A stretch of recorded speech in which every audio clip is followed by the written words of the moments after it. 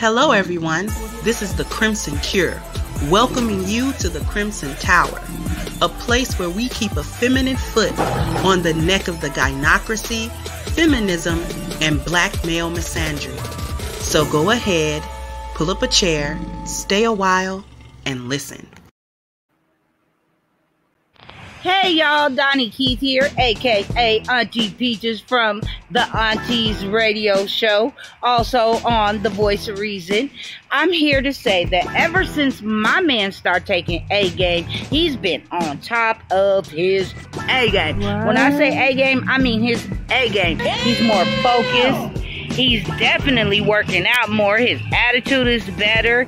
And he's not complaining of all over body aches due to poor blood circulation because A Game provides great blood circulation, if you know what I mean, ladies. That blood circulation. Sometimes I have to hide the A Game in the bushes when I'm out walking the dog just because I want some sleep. if you know what I mean, ladies. Stay on top of your A game, fellas. Get your A game.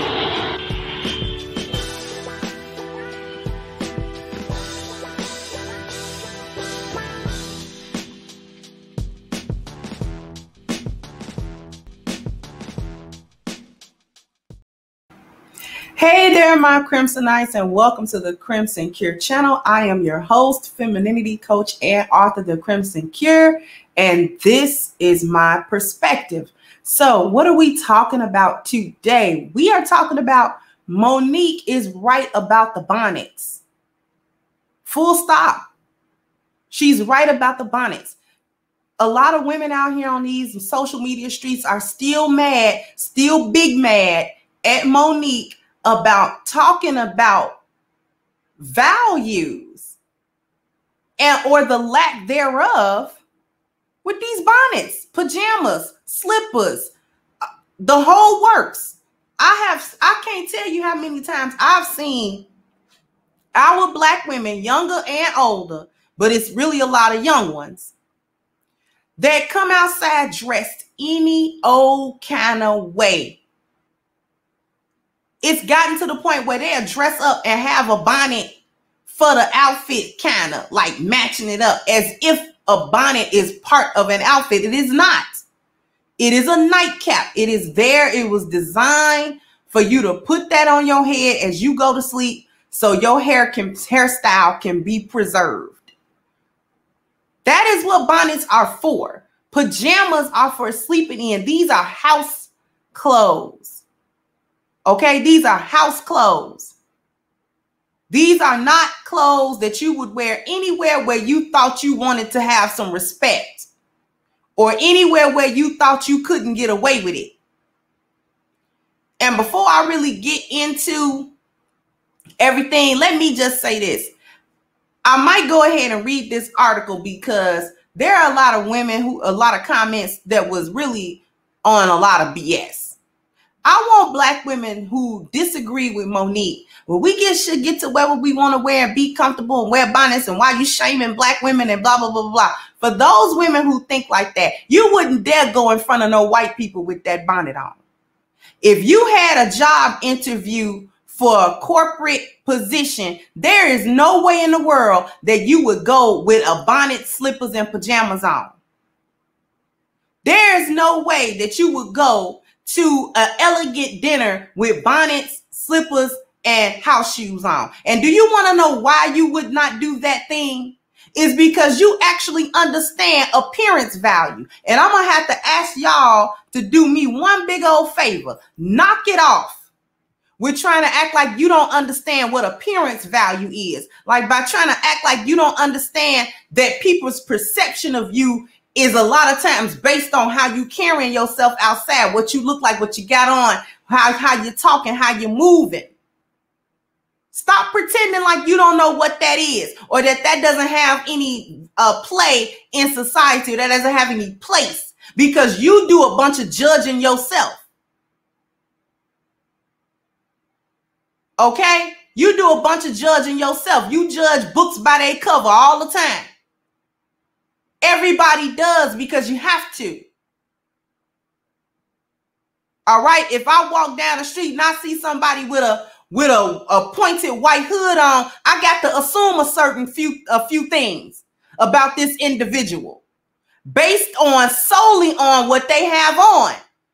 Then I have to assume a couple of things and then I have to move according to those assumptions because I'm likely to be right. And when we come outside as women showing up in the world with bonnets, house shoes, slippers, what we telling the world is, I don't care about me, so you don't gotta care about me. I don't have any values. I'm trash. I'm a bunch of trouble. If you talk to me, you're not gonna get a rational explanation. If you uh, if you say anything to me, I'm liable to blow up at you, cuss you out, fight you, or any of those things because that is the representation that you having of yourself to the world. You're presenting yourself to the world as you don't care. So why would somebody else care how they treat you or how they talk to you or how they deal with you? You're not going to be able to be dealt with with respect and honor because you showing up in the world as though you have none. And I don't know what the pushback is all about. I have no idea what the pushback is really about on Monique. They tried to comfort her. Well, you know, you made crude jokes and this and that, you know, uh, talking about the com- comedic material that she used to do when she was doing stand up. And trying to comfort her based on that and saying she's a hypocrite. That don't have nothing to do with the price of tea in China. She could have did whatever she wanted to do on that stage and still be right about these bonnets. And still be right because she was on stage with her hair done. Whatever you thought about freeze curls, okay, back in the day, she had them and it was done. Whenever she showed up on that stage, she had clothes on. I can tell you that. But y'all women are coming out of here any old kind of way. And it's a lot of the younger ones because they don't have no guidance from the older women. They, they mamas is trash. So they're not telling the young 16, 17, 20 year old, you cannot come outside like that, baby. You have to be presentable. There are presentable clothes that are comfortable. Ain't nobody saying you gotta wear a full face of makeup, heels, and a and an evening gown every time you come out of the house, but you need to be put together. I don't care if you just run into the store around the corner or if you really headed out to run you some errands all around the city. You need to be somewhat, you need to be presentable as a woman. Whatever happened to pride as a woman? Whatever happened to the vanity of women? I thought y'all wanted to be queens. I thought y'all wanted to look good. I thought y'all was bad bees.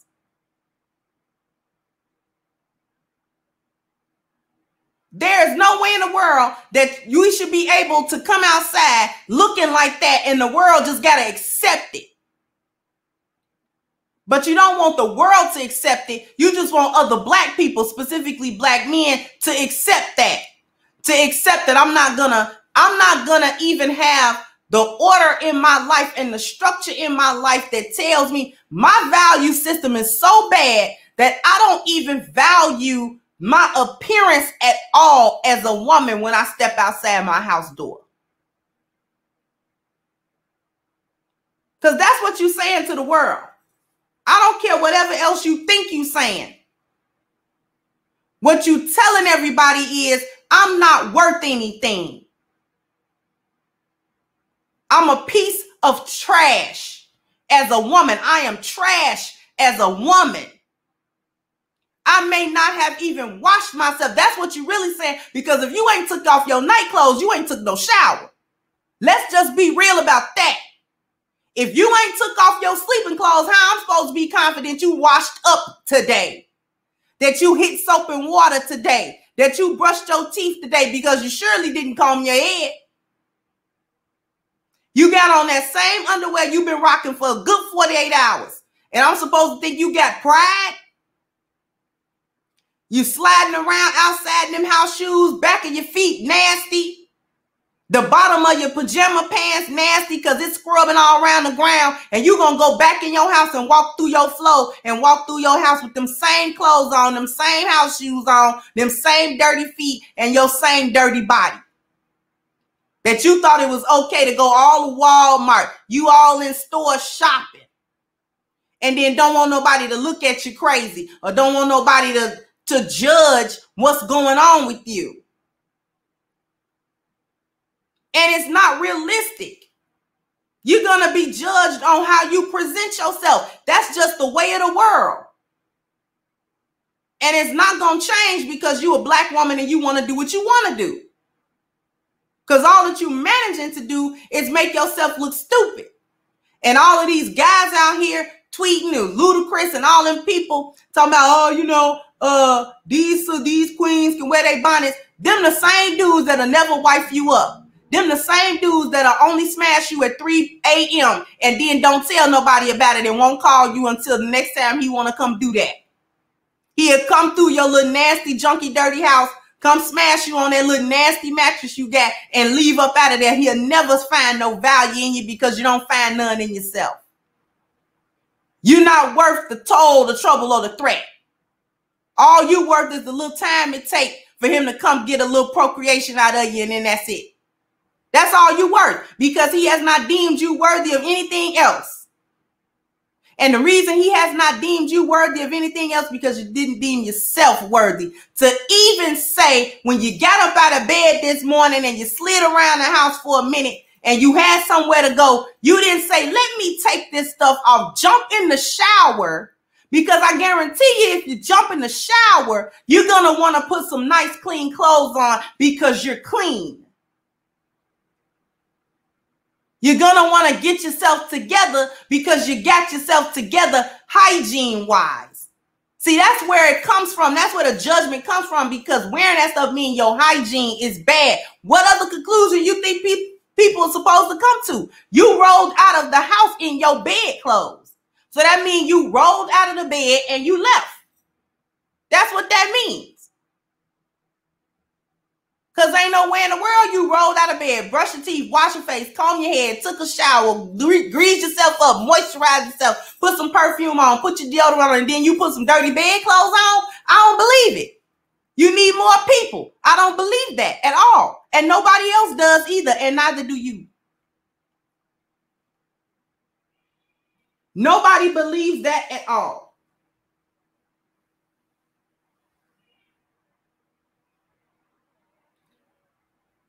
You got the fact that you need somebody to come tell you since you look up to celebrity so much.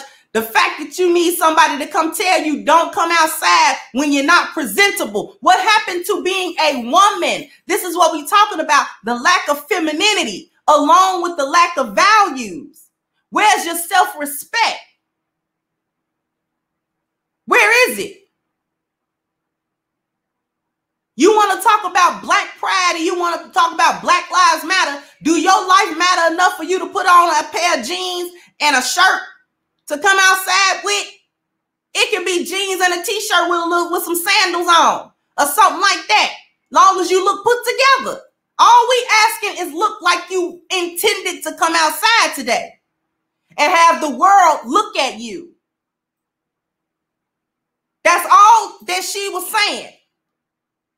And for all of you gynocrats, male and female, like it's a bunch of maggles, there was something, wrong with that, you know, and all that goofiness.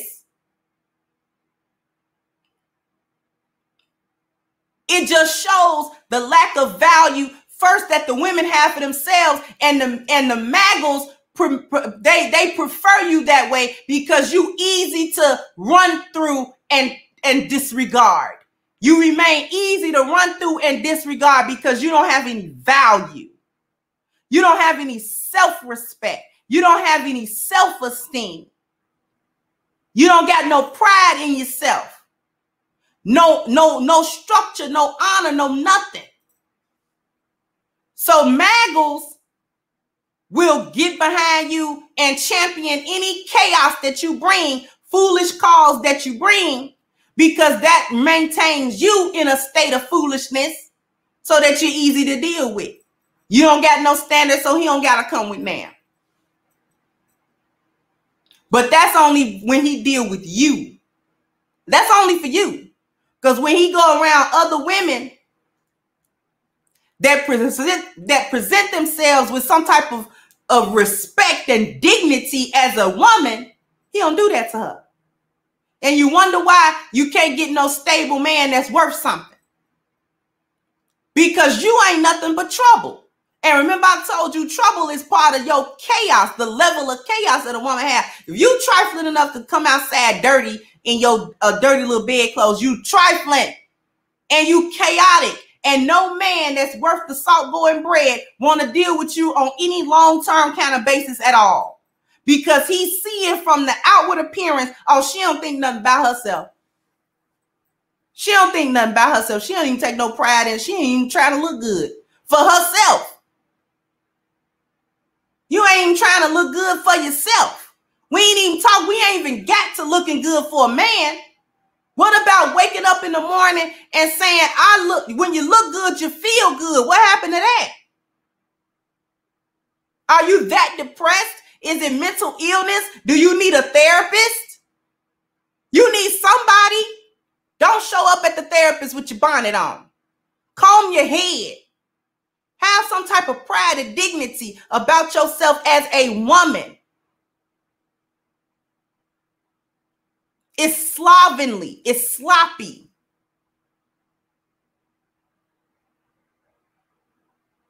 It shows that you don't value yourself. If you don't value the people around you that are affected by your appearance. I'm not going nowhere with you with that on.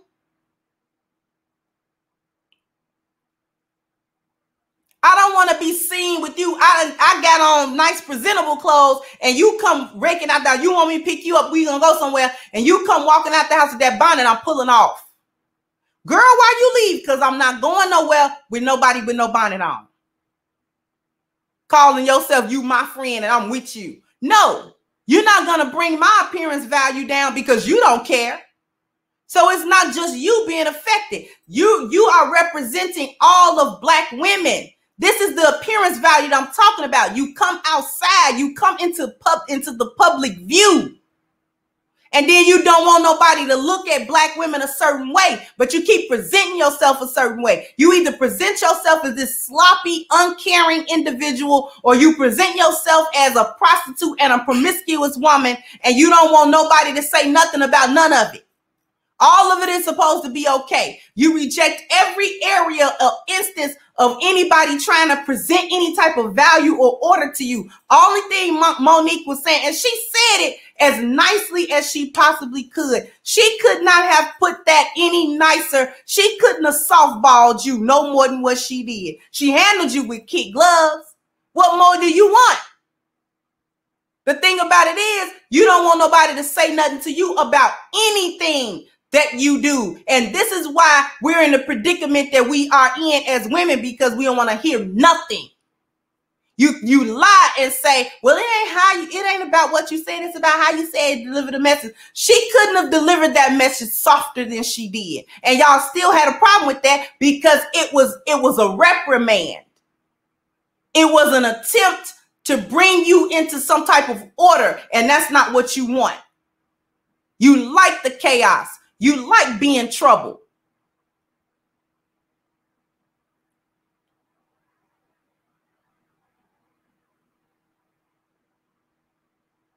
This is why you mad at her. This is why you wanted to drag her through uh, social media and everybody want to do an interview about bonnets.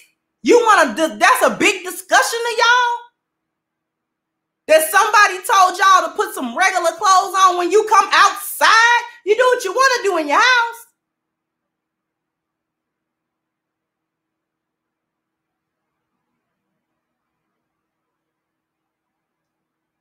We don't have a value system that's worth anything. And you don't want to adopt one. Appearance is number four on the on the 10 life value chart. The appearance value. This is the part of your internal value system. It come right after family. How are you representing yourself and your family? You go up to the school dressed like that, and then what you don't realize is that your children get roasted because your your they mama came up looking like who done it and what for. So now your kid get talked about in school like a dog because of you. Your mom was dirty, man. She stunk. Uh, she had on a dirty t-shirt, blah, blah, blah. She had on a bonnet. She ugly. That's your mama. And your kids got to endure that or try to defend you somehow, but it's really indefensible. And you don't care how nobody else is affected because you just want to do what you want to do. I'm grown. Well, be grown enough to know that you're supposed to put on regular clothes when you go outside. How about that? How about be grown enough to know how to dress when you uh, leave the house? Somebody got to tell you that now you want to be mad. Well, be mad then. I hope she buy a whole bunch of little capes and send them to you so you can be Superman. I don't have no mercy, no mercy on that. Dress regular when you go outside. That's all anybody's asking. And to even get pushback on something like that is astounding and it's saddening and it's sickening.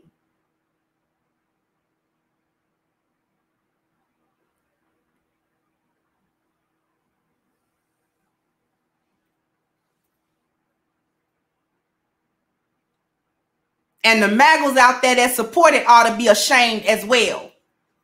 Because you fool you fueling that foolishness. Uh-uh, see, he don't care.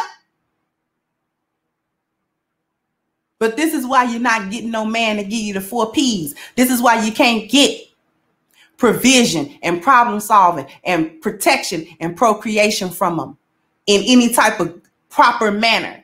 This is why you can't get it. This is why he only come through and give you a little procreation. He might throw you a couple of dollars. You're not getting much else out of him because you're not worth it. You're not even worth it to you. So how you supposed to be worth it to him? Or anybody for that matter? I have driven a lot of you women to work looking like just a whirlwind went through you. And it's a shame that you come outside with your head uncombed,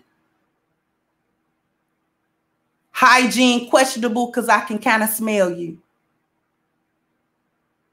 It's sad. Women should never be in that state. Coming out of a home in the modern day of America in year of our Lord 2021 with indoor plumbing and soap at the Dollar Tree. You can get soap at a Dollar Tree, soap and a towel. And I don't know of a structure, a living quarters in America that does not have indoor plumbing, especially in the city.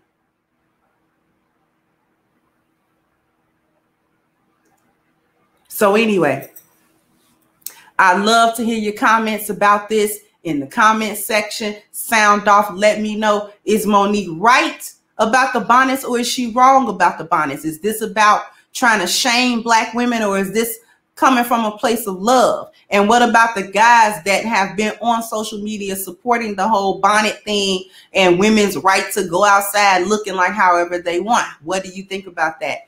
We love to hear the comments. So go ahead, like, share, and subscribe to the channel if you have not. Once again, my name is The Crimson Cure, and this was my perspective. Bye bye, Crimsonites. Hey guys, please like, share, and subscribe to the channel and hit the notification bell. And if you've got more to say on the topic, leave a comment down below. Also, don't forget to support our sponsor who so graciously supports this channel by clicking the description box and the link for A Game at agameherbal.com. You can go ahead and get a 10% discount off of your next purchase using the code Kendra10. This has been yet another Crimson Cure production, and I'll catch you guys on the next one.